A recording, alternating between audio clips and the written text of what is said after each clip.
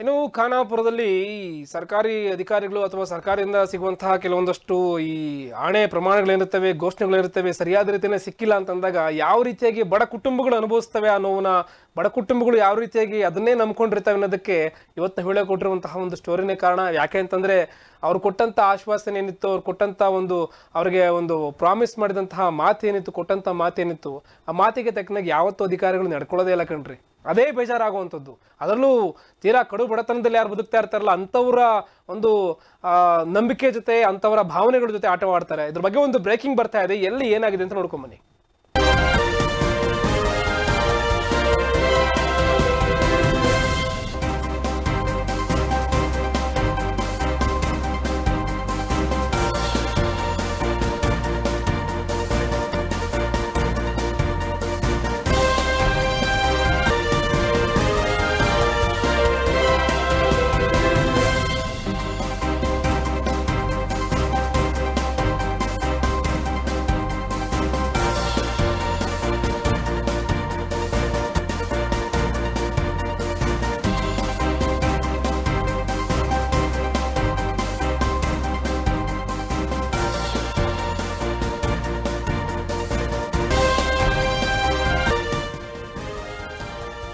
ಅಧಿಕಾರಿಗಳ ತಪ್ಪಿನಿಂದ ಕಚೇರಿಗೆ ಅಲೆದು ಅಲೆದು ಬೀದಿಗೆ ಬಂದಂತಹ ಬಡ ಕುಟುಂಬ ಬಿದ್ದು ಹೋದ ಗೋಡೆಗಳು ಉಳಿದು, ಉಳಿದ ಒಂದೇ ಒಂದು ಕೋಣೆಯಲ್ಲೇ ಜೀವನ ಮಾಡ್ತಿದ್ದಾರೆ ಆ ಕುಟುಂಬ. ಅಲ್ಲೇ ಊಟ, ಅಲ್ಲೇ ನಿದ್ದೆ, ಅದೇ ಕತ್ತಲಲ್ಲಿ ಓದುವಂತಹ ಮಕ್ಕಳ ಒಂದು ಪರಿಸ್ಥಿತಿ ಈಗ ಹೇಳುತ್ತಿರೋದು ಅಂತಲೇ ಹೇಳ್ಬೋದು. ದೊಡ್ಡ ಹೊಸೂರು ಗ್ರಾಮದಲ್ಲಿ ಕುಟುಂಬದ ಗೋಳು ಕೇಳೋದಕ್ಕೆ ಯಾರು ಇಲ್ವೇ ಇಲ್ಲ ಅಲ್ಲಿ. ಗ್ರಾಮದ ರಾಘವೇಂದ್ರ ಕೋಲಕಾರ ಎಂಬ ಕುಟುಂಬದ ಗೋಳಿನ ಕತೆ ಇದು ಆಕ್ಚುಲಿ ಹೇಳ್ಬೇಕಂದ್ರೆ. ಬೆಳಗಾವಿ ಜಿಲ್ಲೆಯ ಖಾನಾಪುರ ತಾಲೂಕಿನ ದೊಡ್ಡ ಹೊಸೂರು ಗ್ರಾಮ ಏನಿದೆ, ಈ ಗ್ರಾಮದಲ್ಲಿ ಅಧಿಕಾರಿಗಳ, ಅಧಿಕಾರಿಗಳಿಗೆ ಒಂಥರ ಚಲ್ಲಾಟ, ಬಡವರಿಗೆ ಪ್ರಾಣ ಸಂಕಟ ಅಂತಾರಲ್ಲ, ಅದೇ ರೀತಿಯಾಗಿ ಅಧಿಕಾರಿಗಳಲ್ಲಿ ನಡೆದುಕೊಳ್ತಾ ಇದ್ದಾರೆ ಅಂತ ಆರೋಪ ಮಾಡ್ತಾ ಇದ್ದಾರೆ. ಸರ್ಕಾರ ಕೊಟ್ಟರು ಕೂಡ ಅಧಿಕಾರಿಗಳು ಕೊಡದೆ ಬಡ ಕುಟುಂಬ ಇವತ್ತು ಬೀದಿಗೆ ಬಂದಿದೆ. ಅದೇನು ಹೇಳ್ತಾರಲ್ಲ, ಪೂಜಾರಿ ಕೊಟ್ಟರು ದೇವ್ರು ಕೊಟ್ಟರು ಪೂಜಾರಿ ಕೊಡಲ್ಲ ಅಂತಾರಲ್ಲ, ಹಂಗೆ. ಇಲ್ಲಿ ಸರ್ಕಾರ ಕೊಟ್ಟಿದೆ, ಆದರೆ ಅಧಿಕಾರಿಗಳು ಮಾತ್ರ ಅವ್ರಿಗೇನು ಸ್ಪಂದಿಸ್ತಾ ಇಲ್ಲ. ಇನ್ನು ಖಾನಾಪುರದಲ್ಲಿ ಸುರಿದಂತಹ ಮಳೆಯಿಂದಾಗಿ ಮ, ಮನೆಯನ್ನ ಕಳೆದುಕೊಂಡಿದ್ದು ಈ ಒಂದು ಕುಟುಂಬ. ಸಹಾಯಧನ ನೀಡುವಂತೆ ಪಿಡಿಒ ಮತ್ತು ಗ್ರಾಮ ಲೆಕ್ಕಾಧಿಕಾರಿಗೆ ಅರ್ಜಿಯನ್ನು ಸಲ್ಲಿಸಿದ್ರು. ನಾವು ಅರ್ಜಿ ಸಲ್ಲಿಸಿ ಮೂರು ತಿಂಗಳು ಕೂಡ ಕಳೆದ್ರೂ ಕೂಡ ಇನ್ನೂ ನಮಗೆ ಯಾವುದೇ ರೀತಿ ಪರಿಹಾರ ಸಿಕ್ಕಿಲ್ಲ, ಮನೆನೂ ಬಂದಿಲ್ಲ, ಏನೂ ಇಲ್ಲ. ಅಧಿಕಾರಿಗಳನ್ನು ಕೇಳಿದ್ರೆ ನಿಮಗೆ ಮನೆ ಸಿಕ್ಕೇ ಸಿಗುತ್ತೆ ಅಂತ ಪದೇ ಪದೇ ಹೇಳ್ತಾ ಇರ್ತಾರೆ. ಅಲ್ಲಿವರೆಗೂ ನಾವೇನು ಮಾಡ್ಬೇಕಾಗಾದ್ರೆ ತಾಲೂಕು ತಹಶೀಲ್ದಾರ್ ಕಚೇರಿಗೆ ಬಂದು ಅಲ್ಲಿ ವಿಚಾರಿಸಿದರೆ ಅವರು ಹೇಳೋದೇ ಬೇರೆ. ನಿಮ್ಮ ಅರ್ಜಿ ಪಿ ಡಿ ಒ ಮತ್ತು ಗ್ರಾಮ ಲೆಕ್ಕಾಧಿಕಾರಿಗಳ ನಿರ್ಲಕ್ಷ್ಯದಿಂದ ಅರ್ಜಿ ರಿಜೆಕ್ಟ್ ಆಗಿದೆ. ನಾವೇನು ಮಾಡೋಕ್ಕಾಗಲ್ಲ. ಸೊ ಹಾಗಾಗಿ ನಿಮಗೆ ಮನೆ ಸಿಗಲ್ಲ ಅಂತ ಅವ್ರು ಬೇರೆನೇ ವಿಚಾರ ಹೇಳ್ತಾರೆ. ನೋಡಿ ಅಲ್ಲಿ ಅವ್ರ ಮನೆ ಪರಿಸ್ಥಿತಿ ಹೇಗಿದೆ. ಹೇಗೆ ಜೀವನ ಮಾಡ್ತಾ ಇದ್ದಾರೆ.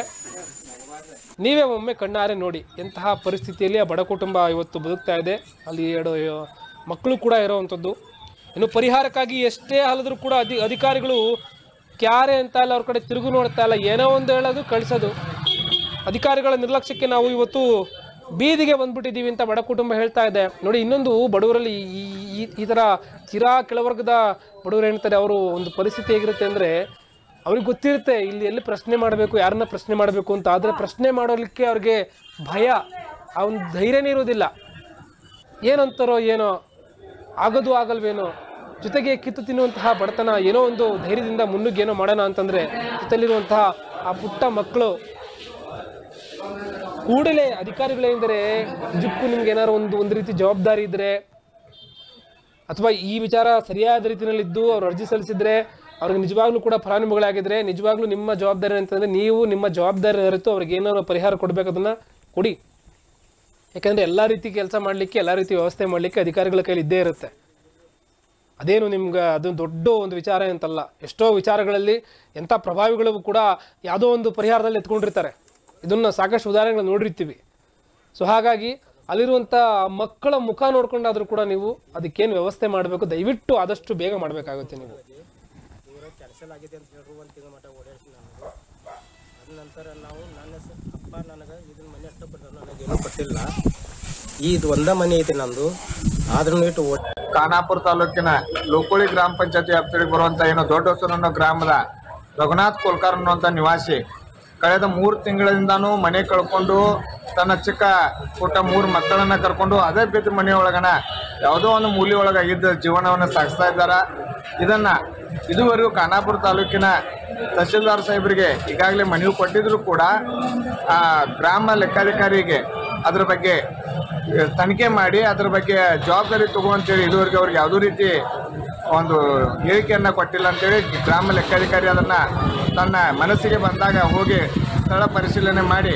ಇವಾಗ ಏನು ಅದು ಪರಿಹಾರ ಘೋಷಣೆ ದಿನಾಂಕ ಮುಗಿದೈತಿ, ಆ ಮುಗಿದ ನಂತರ ಸರ್ಕಾರಕ್ಕೆ ತನ್ನ ವರದಿಯನ್ನು ತಲುಪಿಸಿ ತನ್ನ ಬೇಜವಾಬ್ದಾರಿಯನ್ನು ಇವತ್ತು ಬಡ ಕುಟುಂಬದ ಮೇಲೆ ಹಾಕುವಂಥ ಕೆಲಸ ಮಾಡುತ್ತಾರೋ ಆ ಕಾರಣಕ್ಕೆ, ಖಾನಾಪುರ ತಾಲೂಕಿನ ದಂಡಾಧಿಕಾರಿಗಳು ಇದ್ರ ಬಗ್ಗೆ ಕಾನೂನು ಕ್ರಮ ಕೈಗೊಳ್ಳಬೇಕು ಹಾಗೂ ತಾವೇ ಖುದ್ದಾಗಿ ಹೋಗಿ ಆ ಕುಟುಂಬವನ್ನು, ಆ ಕುಟುಂಬದ ಪರಿಸ್ಥಿತಿಯನ್ನು ನೋಡಿ ಬರ್ಬೇಕಂತೇಳಿ ನಾವು ವಿನಂತಿಸ್ತೀವಿ. ಸೆಪ್ಟೆಂಬರ್ ತಿಂಗಳಾಗ ಜೋರು ಮಳೆ ಬಿತ್ತು, ಅವಾಗ ನಮ್ಮ ಮನೆ ಬಿದ್ದೈತಿ.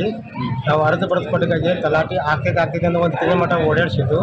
ಆ ನಂತರ ನಾವು ಇಲ್ಲಿ ತಹಶೀಲ್ದಾರ್ ಕಡೆ ಬಂದು ಚೌಕಸಿ ಮಾಡಿದಾಗೆ ತಹಶೀಲ್ದಾರ ಎರಡು ಮನೆ ಅದಾವು, ನಿಮಗೆ ಕ್ಯಾನ್ಸಲ್ ಆಗಿದೆ ಅಂತ ಹೇಳಿದ್ರು. ಆ ನಂತರ ಈಗ ಎರಡು ಮನೆ ಅದಾವಂತ ನಮಗೆ ಇವರು ಇಡೀ ಊರು ತಲಾಟಿ ಯಾರೂ ಏನು ಹೇಳಿಲ್ಲ. ಆಗ್ತೈತಿ ಹಿಂಗೆ ಏನು ಎರಡು ಮನೆ ಇದ್ರೆ ಆಗೋಗಲ್ಲ ಅಂದ್ರೆ ನಮಗೆ ಏನೂ ಹೇಳಿಲ್ಲ. ಆ ನಂತರ ಮತ್ತೊಮ್ಮೆ ಉತ್ತರ ತೆಗಿಯಕ್ಕೆ ಹಚ್ಚಿರು ನನ್ನ ಹೆಸರು ಮ್ಯಾಗ. ನಾವು ಉತ್ತರ ತೆಗೆದೇನು ಉತ್ತರ ತೆಗೆದ ಕಳಿಸಿ ತಲಾಟಿಂಗಡೆ ಕಡೆ ಕೊಡಕ್ಕೆ ಹೋದ್ರೆ ಇವರು ತಗೋದಿಲ್ಲ. ಆಗೋಗಲ್ಲ ಈಗ ಅಂತ ನನಗೆ ಹೇಳಿಬಿಟ್ರು ಅವರು. ಮತ್ತು ಆಗೋಗಲ್ಲ ಈಗ ನೀವು ಹೋಗ್ಬಿಟ್ರಿ ಅಂತ ಹೇಳಿದ್ರು. ಆ ನಂತರ ಹಾಂ ಎಲ್ಲ ಅರ್ಜಿ ತೊಗೊಂಡಿರ್ರಿ. ಆ ನಂತರ ಮತ್ತೆ ತೊಗೊಕ್ ಕೊಡಕ್ಕೆ ಹೋದ್ರೆ ಅವ್ರು ತೊಗೋದಿಲ್ಲ. ತೊಗೋದಿಲ್ಲ ನಂತರ ಮತ್ತೆ ಓಡಾಡಿಕೆ ಅವ್ನಿಗೆ ಏನ್ರಿ ಮಾತಾಡೋದು ಅರೇಂಜ್ ಮಾಡಿ ಫೋಟೋ ಹೊಡ್ಕೊಂಡು ಹೋದ್ರು. ಒಂದು ಹದಿನೈದು ದಿವ್ಸನಾಗು ಆ ನಂತರ ಇಲ್ಲಿ ಕೊಡಕ್ಕೆ ಹೋದರೆ ಇವರು ಗಲಾಟೆ ಸಾಹೇಬರ ಡೇಟ್ ಮುಗಿದ ಬಗ್ಗೆ ಇಲ್ಲಿ ತಹಶೀಲ್ದಾರ್ ಕಡೆ ಕೊಟ್ಟಿದ್ದಾರೆ. ಆ ನಂತರ ಇಲ್ಲಿ ತಹಶೀಲ್ದಾರ್ ಕಡೆ ಕ್ಯಾಕ್ ಹೋದರೆ ಡೇಟ್ ಮುಗಿದ ಬಗ್ಗೆ ಕೊಟ್ಟಿದ್ದಾರೆ. ಗಲಾಟೆ ಸಾಹೇಬಿನ ಎಲ್ಲ ತಪ್ಪಿದ್ದು ಅಂತ ಅವರು ಡೈರೆಕ್ಟ್ ತಹಶೀಲ್ದಾರ್ ಅವರು ಎಲ್ಲರೂ ಹೇಳಿಬಿಟ್ರು ನನಗೆ ಇರಾಕ ಜಾಗ ಇಲ್ಲ, ಒಂದು ಮೂಲಿ ಮ್ಯಾಗ ಅದೇನೋ ತಟ್ಟಿ ಕಟ್ಟಿ, ಈಗೆಲ್ಲ ಪೂರಾ ಮನೆ ಬಿದ್ದೈತಿ. ಏನು ನನ್ನ ಹುಡುಗರಿಗೆ ಸಣ್ಣ ಸಣ್ಣ ಎರಡು ಮಕ್ಕಳು ಅದಾವು ಮೂರು ಮಕ್ಕಳು ಅದಾವು ಅದ್ರ ಮ್ಯಾಗ ಏನೋ ದುಃಖ ಹೋಗಿದ್ರಿ ಇದೆಲ್ಲ ಗೌರ್ಮೆಂಟ್ ಸರ್ಕಾರ ತಲಾಟಿ ಇವರೆಲ್ಲರೂ ಜವಾಬ್ದಾರಿ ಅದ. ಸುಮಾರ ಜೋರ್ ಆಗ ನಮ್ಮ ಮನೆ ಬಿದ್ದೈತ್ರಿ. ಇದ್ದಿದ್ದು ಇರೋದ ಒಂದ್ ಮನಿ ನಮಗ, ಅದು ಮನೆ ಬಿದ್ದೈತಿ. ಬರೀ ಒಂದ್ ರೂಮ್ ಐತಿ. ಅವು ಗಾಡಿಗಳು ಅವು ಎಲ್ಲ ನೆನಾತಾವು ನೆನೆಯತಾವು ಅದ ರೂಮ್ ನಮ್ಮ ಮಕ್ಕ ಬರಿ ಅದೇ ಹೂ ಮೂರು ಮಕ್ಕಳ ಹಾಕೊಂಡು ಅದು ಈಗ ಯಾವಾಗ ಬಿತ್ತು ಯಾವಾಗೆಲ್ಲ ಹಾಕಿ ಬರೋದಿಲ್ಲ. ಆ ಹೆಂಗ್ ಅಂತ ಮನೆ ಬಿದ್ದ ತಕ್ಷಣ ಎಲ್ಲ ಅರ್ಜಿ ಪರ್ಜಿ ಎಲ್ಲ ಕೊಟ್ಟಿದ್ದೆವು ಓಡಾಡಿದೆವು ಓಡಾಡ್ರು ಆಗ್ತೈತೆ ಆಗ್ತೈತೆ ಇಲ್ಲಿ ಮಟ್ಟ ತಂದೆ ಈಗ ನಮ್ಗೆ ಆಗೋದಿಲ್ಲ ಅಂತ ಗೆಸ್ ಅದು ಆಗೋದಿಲ್ಲ ಅಂತ ಸರ ಹೇಳ್ತಾರೆ. ನಾವು ಹೆಂಗ್ ಮಾಡೋದು? ನೀವು ಸರ್ಕಾರ ಏನು ನಮ್ಗೆ ನ್ಯಾಯ ಕೊಡ್ತೀರಿ? ಇಲ್ಲೋ ನಾವೆಲ್ಲಿರೋ ನಮ್ಗೆ ಏನು ಜಾಗ ಕೊಡ್ತೀರಿ? ಕೊಡ್ರಿ.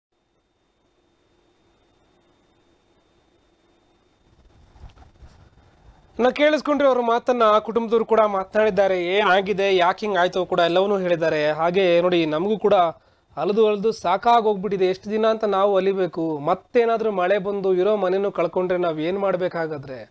ಎಷ್ಟೋ ಬಾರಿ ಈ ರೀತಿಯ ಸಂದರ್ಭಗಳಲ್ಲಿ ಅಧಿಕಾರಿಗಳು ತುಂಬಾ ನಿರ್ಲಕ್ಷ್ಯವನ್ನು ವಹಿಸೋದನ್ನ ನೋಡಿರ್ತೀವಿ. ಸಾಕಷ್ಟು ಅರ್ಜಿಗಳು ಬರ್ತವೆ. ಅರ್ಜಿ ತಗೊಂಡೋಗಿ ಯಾವುದೋ ಒಂದು ಕಡೆ ಎಲ್ಲ ಬಿಸಾಕ್ತಾರೆ. ಯಾ, ಯಾರಿಗೆ ಬೇಕ್ರಿ ಅದೆಲ್ಲ?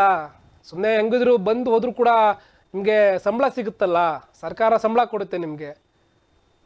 ಯಾಕೆ ಇವೆಲ್ಲ ನಮಗೆ ಅಲ್ವಾ? ಯಾರೋ ಬರ್ತಾರೆ ಕಷ್ಟಗಳು ಕೇಳ್ಕೊಂತಾರೆ, ಅವ್ರ ಕಷ್ಟಕ್ಕೆ ನಾವ್ಯಾಕೆ ಸ್ಪಂದನೆ ಮಾಡಬೇಕು.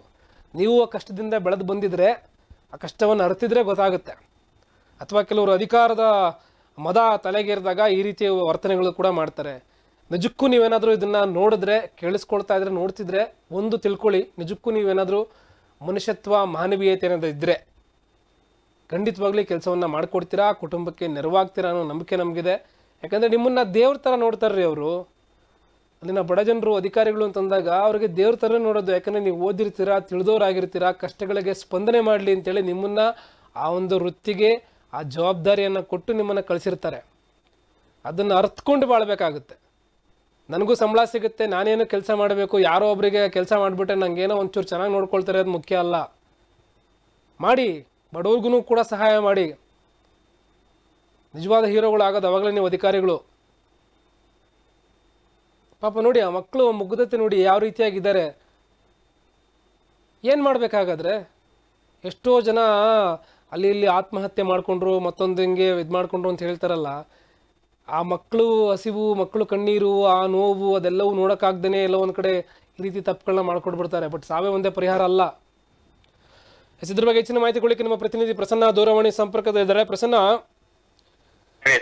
ಈಗ ನೋಡಿ ಎಷ್ಟು ದಿನಗಳಾಯ್ತು ಇವರಿಗೆ ಇದೇ ರೀತಿಯಾಗಿ ಅಲಿತಾ ಇದಾರಲ್ಲ ಅಧಿಕಾರಿಗಳು ಏನಂತ ಇದ್ದಾರೆ ಯಾರನ್ನಾದ್ರೂ ಅಧಿಕಾರಿಗಳನ್ನ ಮಾತಾಡಿಸುವಂತ ಪ್ರಯತ್ನ ಮಾಡಿದ್ರ ಹೇಗೆ?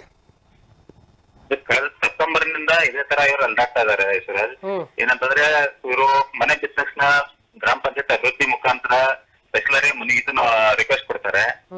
ಆದ್ರೆ ಅಲ್ಲಿ ಕೊಡ್ಬೇಕಾದ ಪಿಡಿಒ ಎರಡ್ ತಿಂಗಳು ಲೇಟ್ ಆಗಿ ಇವ್ರ ಮನೆಗೆ ವಿಸಿಟ್ ಹೋಗ್ತಾರೆ.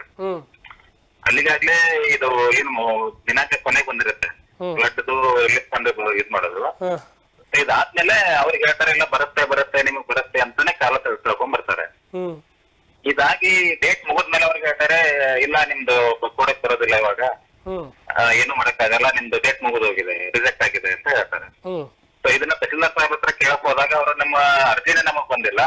ನಿಮ್ಮ ಪಿಡಿಒ ಇರ್ಬೋದು ಗ್ರಾಮ ಲೆಕ್ಕಾಧಿಕಾರಿ ನಮ್ಗೆ ಅರ್ಜಿ ತಗೊಳಕ್ ಕೊಟ್ಟಿದ್ದಾರೆ. ಇದು ಅವ್ರ ನಿರ್ಲಕ್ಷ್ಯ ಅಂತ ಅವ್ರು ನೇರವಾಗಿ ಹೇಳಿ ಕೈ ಹಾ. ಅಲ್ಲ ಈಗ ಕುಟುಂಬದವ್ರು ಏನಾರ ಮಾಡ್ಬೇಕಾಗುತ್ತಂತ ಅವರಿಗೆ ನಾಚಿಕೆ ಆಗೋದಿಲ್ವ ಆ ರೀತಿ ಹೇಳಿಕೆಗಳನ್ನ ಕೊಡೋದಕ್ಕೆ? ಅವ್ರು ನಿಜವಾಗ್ಲೂ ಆ ಒಂದು ಜವಾಬ್ದಾರಿ ಇತ್ತಂದ್ರೆ ಅಲ್ಲಿನ ಪಿ ಡಿ ಇರ್ತಾರೆ ಅಲ್ಲಿ ಅಧಿಕಾರಿಗಳಿರ್ತಾರೆ ಅವರಿಗೆ ಮಕ್ಕ ಕುಗಿಬೇಕು ನೀವು ಅರ್ಜಿ ತಗೊಂಡು ಏನ್ ಮಾಡಿದ್ರಿ ಅಂತ ಅಲ್ವಾ? ಹೌದೌದು.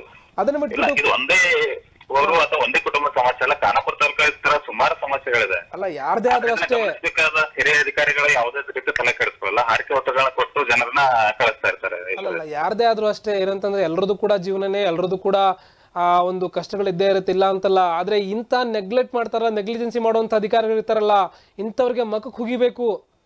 ಮಕ್ಕಕ್ಕೆ ಕೂಗಬೇಕು ನಿಜವಾಗ್ಲೂ ಅವ್ರ ಮೇಲಧಿಕಾರಿಗಳು ಯಾರಿರ್ತಾರೆ ಅವ್ರಿಗೆ ಮಕ್ಕ ಕೂಗಿಬೇಕು ಅವ್ರಿಗೆ.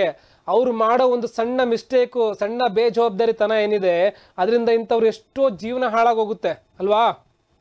ಇನ್ನೊಂದು ಹೆಸರಾಜ್ ಇದು ಇಷ್ಟೆಲ್ಲ ಆಗಿ ಮೂರ್ ತಿಂಗಳಾದ್ರೂ ಇದುವರೆಗೂ ಯಾವ ಅಧಿಕಾರಿ ಕೂಡ ಅವ್ರ ಮನೆಗೆ ಭೇಟಿ ಕೊಡುವಂತ ಒಂದು ಇದಕ್ಕೆ ಹೋಗಿಲ್ಲ. ಈಗ ಅಲ್ಲಿನ ಮೇಲಧಿಕಾರಿಗಳು ಯಾರಿದ್ದಾರೆ ಅಲ್ಲಿ? ಅಲ್ಲಿ ಪ್ರವೀಣ್ ಜೈನ್ ಅಂತ ಇದ್ದಾರೆ ತಹಶೀಲ್ದಾರ್. ಓಕೆ. ನೋಡೋಣ ನಾವು ಕೂಡ ನಾವು ಕೂಡ ಅವ್ರಿಗೆ ಸಂಪರ್ಕ ಮಾಡುವಂತ ಪ್ರಯತ್ನ ಮಾಡ್ತೀವಿ.